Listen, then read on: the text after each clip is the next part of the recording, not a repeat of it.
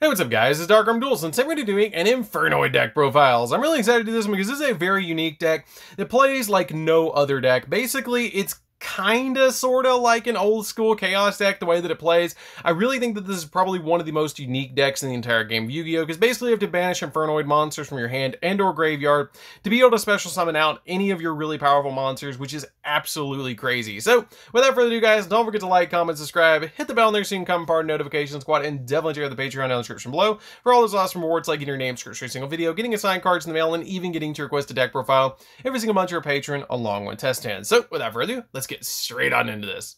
So first off, we're going to be playing two copies of Infernoid Onuncu. So Onuncu is a very interesting card that has the ability that cannot be normal summoned or set. It must be special summoned from your hand and or graveyard uh, by banishing three Infernoid monsters from your hand or graveyard. And then while the total levels and ranks of all effect monsters you control is 8 or lower and cannot be special summoned by other ways. So all of your Infernoid monsters basically share that ability that you have to banish a certain amount of Infernoids to special summon to your side of the field while you have less than 8 levels or ranks on the field, which is really kind of interesting to be able to have a mechanic in the game like that, that you have to have less than a certain amount to be able to special summon them to your side of the field.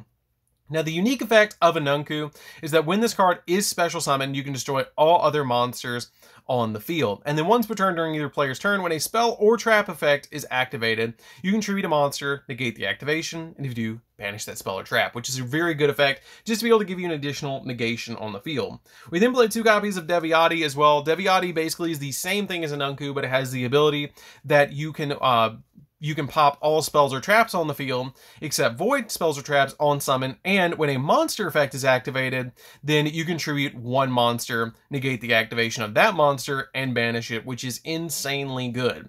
We then play a single copy of Ontadel. Ontadel, you only have to banish two Infernoid monsters to special summon this card while you have less than eight on the field. And when this card destroys an opponent's monster by battle and sends it to the graveyard, you can activate the effect that this card can make a second attack in a row. And then also it has the ability that a lot of your other Infernoid monsters share that once per turn during either player's turn, you can treat a monster, target a card in your opponent's graveyard, and banish it.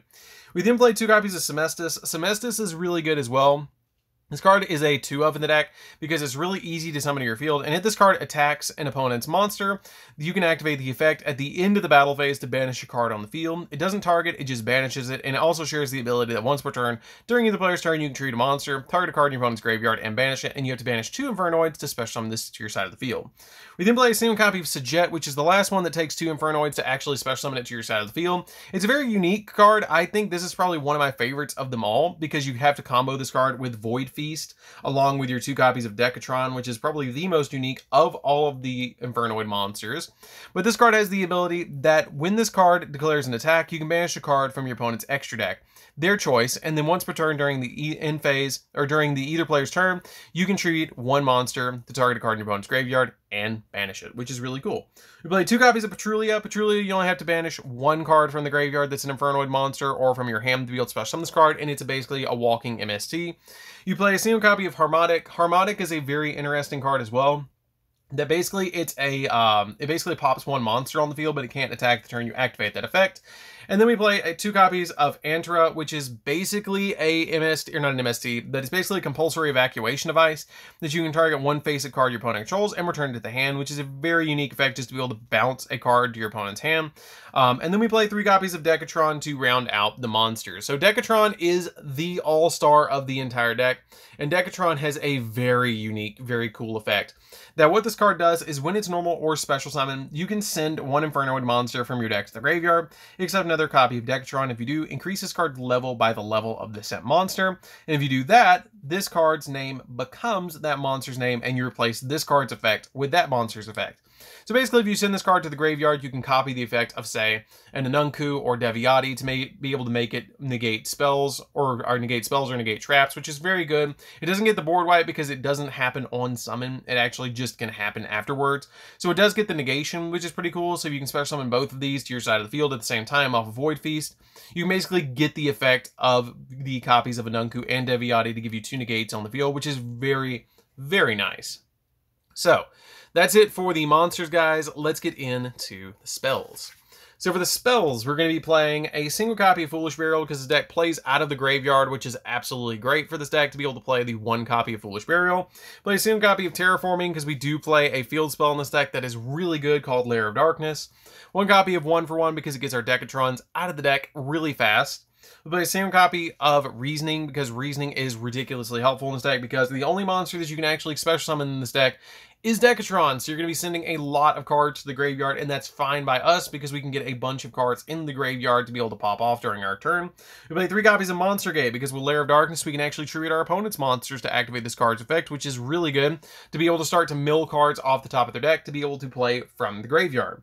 We then play three copies of Lair of Darkness, which is single-handedly the most important card in the entire deck that makes everything on the field dark, and then once per turn, if you're going to tribute a card, then you can tribute to activate this effect, then you can tribute a dark monster opponent controls, and everything becomes dark with this card on the field, so basically you contribute your monster, your opponent's monsters once per turn, and then the turn player gets tokens for every monster that was tributed during their turn, which is pretty good.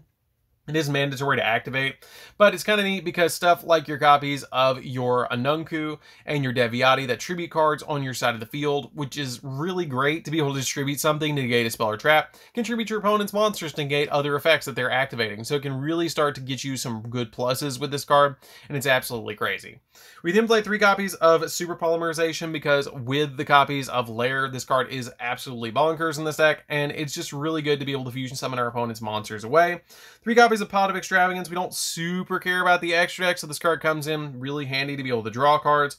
Three copies of Void Imagination. Void Imagination is really neat because Infernoid monsters you control uh, as levels that are two or higher become one. So basically it entirely ignores the effects of all of your Infernoid monsters that say, hey, you can't special summon anything if you have rank 8 or higher or level or higher on your field uh, that your combined levels and ranks are 8 or higher, you can't special summon.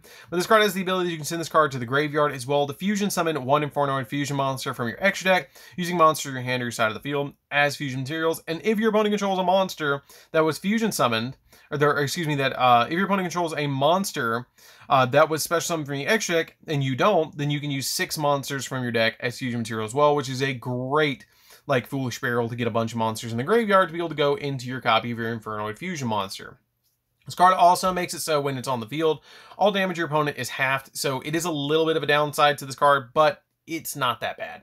We then play three copies of Void Vanishment to round out the spells. This card is insanely good. You just discard a card from your hand to be able to add a Void spell or trap from your deck to your hand, and you can also uh, accept another copy of Vanishment or Null and Void also, you cannot normal summon or special summon monsters for the rest of the turn except Infernoids, which is fine, and you can only use the effect of this card once per turn. And if an Infernoid monster you control battles an opponent's monster during damage calculation, you can send this card to the graveyard, banish both of those monsters.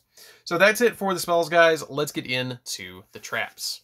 So for the traps, we do play three traps in the deck, which all are very good traps.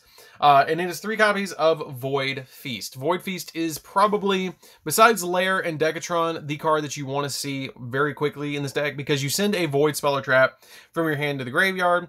Um, and then you can also, or face up from your field to the graveyard, to special summon up to three Inferno monsters from your deck that exactly equal eight, ignoring their summoning conditions. So basically, what you're going to do with this card is when you activate it, you special summon out a copy of Sjette, and then you special summon out two copies of Decatron, and once you summon out the two copies of Decatron, you can activate both the effects of the Decatrons to then send to the graveyard a copy of Onuncu and a copy of Devyaty. And once you send those to the graveyard, you're going to get the effects of the Onuncus and the Devyaty. So basically you'll have Onuncu and Devyaty's effects on the field, but you won't have Onuncu and Devyaty.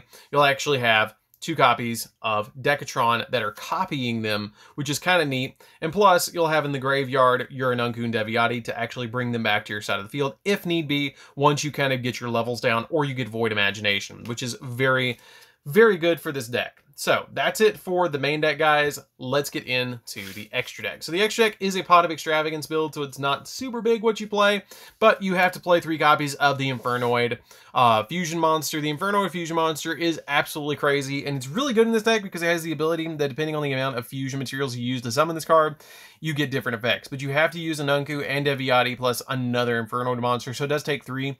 Its effects are, the three effect is that each player sends the top three cards of their extra deck to the graveyard. Five, each player sends the top three cards of their deck to the graveyard, or eight, each player returns three cards that are banished to the graveyard, or 10, each player sends their entire hand to the graveyard. So all of them benefit us and kind of hurt the opponent, so this card is really, really good. We then play two copies of Starving Venom for the Super Poly targets, which is really good. We play two copies of Elder Entity Nist because you can pop cards with this card, and this card can go to the graveyard with your copy of your um, your uh, Infernoid Fusion monster. Single copy of Fossil Warrior Skull Knight, which you can also send to the graveyard, and you can banish it at any time instead of the Elder Entity Nist making you banish it at, or making it pop on sent to the graveyard effect. One copy of Mudragon is an additional Super Poly target because pretty much this is all you're ever going to need for Super Poly targets. I promise you in this deck, like you're never going to need anything. This is when you don't have Lair, and this is when you do have Lair. We then play the same copy of Topologic Zeroboros. Zero Boros is really good in this deck because you're going to be banishing a lot of stuff. And these are kind of just toolbox cards that you can play if you want to. You can bump these up to multiples if you want to. This card gains attack for every banished card, which is pretty good. Um, and also if another card is special summoned to a link zone this card points to, while this card is in the, on the field, banish all cards on the field, and then once during the standby phase, after this card was banished by its own effect, you get special summon this card back, and you cannot normal summon or special summon monsters to own this card points to, which is really, really good. We then play two copies of Equal Max. Equal Max is really good in this deck. It helps you OTK. It gains attack for every monster that points to, so this card can get really big. And it's really easy to actually summon to your side of the field, especially when you use the copy of your um, use the copy of Void Feast, you can just basically instantly get this card out on your side of the field, which is really nice. We play a single copy of Unicorn. Unicorn is really nice in this deck too because it can spin stuff.